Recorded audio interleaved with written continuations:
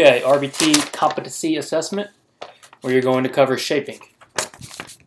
So if I were to say, what is shaping? You would say reinforcing approximations of a behavior. If it's too technical, you could say it a different way, like setting a final behavior goal and reinforcing the steps to that behavior. So if I wanted you to give me examples, a common example is teaching words. So if you're teaching the word bubble, each time your client says buh, you would reinforce. And you would continue doing that until they learn buh. But eventually, you would want them to say more of the word. So next time, you might not reinforce until they say bub. And now, when they say bub, they receive reinforcement, but they don't for saying just buh. So now they're saying bub, reinforce, reinforce, reinforce. Okay, now you want them to finish the word. So now they're only saying, they're only receiving reinforcement when they say bubble.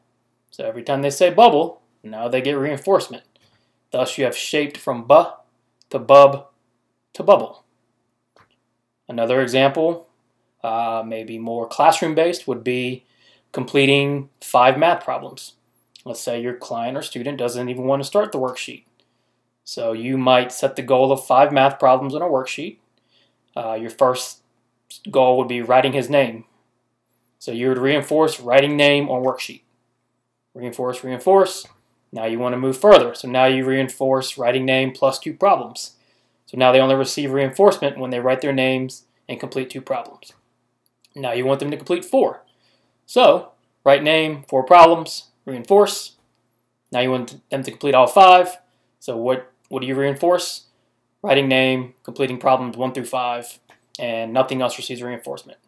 So what have you shaped? Completing five problems. How did you start? Writing name, writing name and two problems, writing name and four problems, writing name and all the problems. Uh, and that is shaping.